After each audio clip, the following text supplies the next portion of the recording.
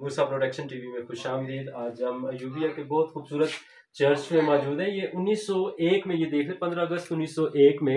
ये हमारे नाजरीन को दिखाइए 1901 में ये चर्च जो है, इसकी, इसका जो फाउंडेशन स्टोन है, वो रखा गया। और उसके बाद जो इसकी रेनोवेशन की गई, वो रेवरेंड फादर जोसेफ थे एम एच एम के।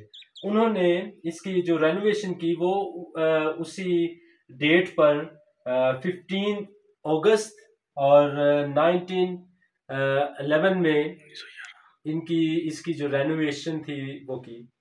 हजर ये बहुत खूबसूरत चर्च बना हुआ है और ये अयूबिया शहर में अपनी मिसाल आप है। इस चर्च हमें याद करवाता है कि कैसे मिशनरियों ने पाकिस्तान में आकर मसीही काम को सरंजाम दिया और अंजिली इकदार को फैलाया और लोगों में प्यार और मोहब्बत को वाजिया किया।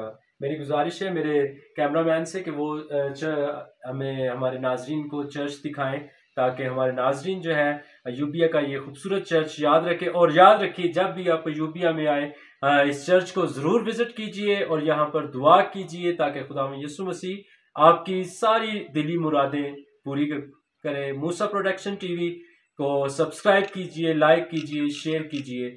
शुक्रिया।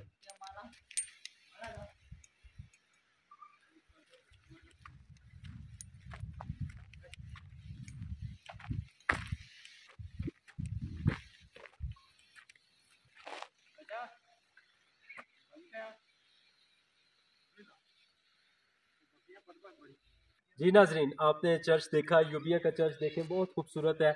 और जब भी आप यूबिया में आए, नथिया में आए, वहाँ का नथिया गली में भी कैथलिक चर्च है, वहाँ पर भी रुकें और ये चर्च जो है अयूबिया में बहुत खूबसूरत चर्च है। इसके साथ ही मैं आपसे इजाज़त चाहूँगा अपने कैमरामैन स्टीफन जॉन के साथ और बाबू हुमैर यूनस को इजाज़त दीजिए, फिर मिलेंगे एक नई जगह पर, एक नए मकाम पे।